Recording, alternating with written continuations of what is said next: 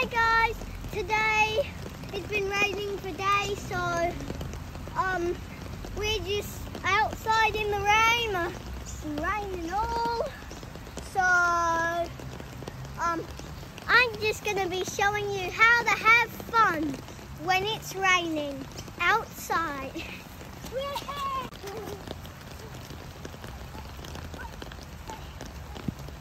now, now guys, it's time for number two. So, number two is, wait for it, watching the birds. I'm talking about bin chickens or ibises.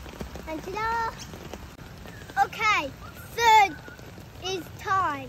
So now, the third is watching the raindrops on the water. Do you guys want to watch too? Uh, that's a yes, of course.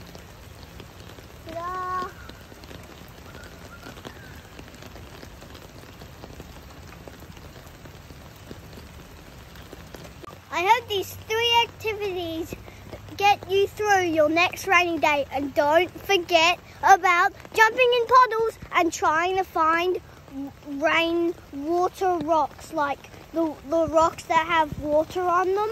Can you spot the one that has the most water on it?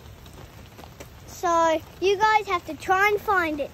Bye. Make sure to like and subscribe if you want to see if you love the rain.